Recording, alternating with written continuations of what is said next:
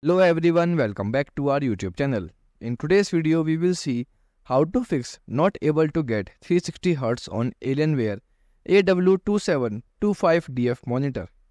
360Hz option not showing on Alienware monitor.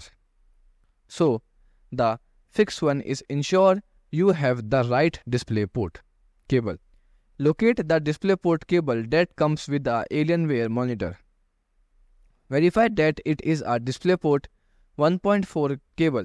This is required to support the 360 Hz refresh rate at 1440p resolution. If you don't have the original cable, purchase a high quality DisplayPort cable that is certified to support the bandwidth needed for 360 Hz. Fix 2. Check your graphics card compatibility. Identify the graphics card in your computer. This is typically an NVIDIA typically an NVIDIA or AMD graphics card. Ensure your graphics card support DisplayPort with display streaming compression technology and after and then like NVIDIA GPU with Turing architecture RTX 20 series and later generally support this.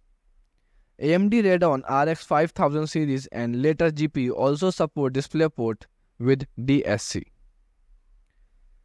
If your graphics card does not support the requirement DisplayPort with DSC, you may need to upgrade your graphics card to use the 360Hz feature. Fix 3. Update graphics card driver.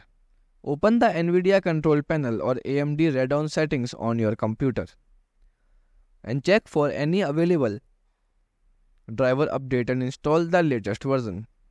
Ensure the driver version is compatible with your graphics card and the Alienware monitor. Fix 4. Enable 360Hz in display setting. In the NVIDIA control panel or AMD Radeon settings, navigate to the display settings and look for 1440p resolution option and then select the 360Hz refresh rate and after that apply the settings and then save any changes. Fix 5. Reset the monitor to factory setting. Locate the joystick button on the back of the Alienware monitor and press and hold the joystick button for 8 seconds while the monitor is turned on. This will reset the monitor to its factory default settings. After the reset, Try enabling the 360 Hz refresh rate again in your display setting. Fix 6. Contact Dell support. So if you have tried all the above steps and the 360 Hz option is still not available, contact Dell support for the further assistance.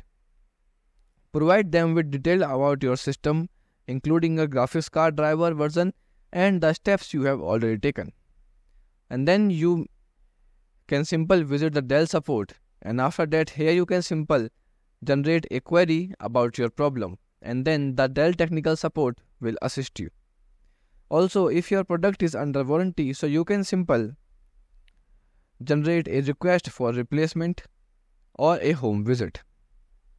And that's it. So if you found this video helpful, don't forget to like, share and subscribe for more tech tips and tutorial. Goodbye.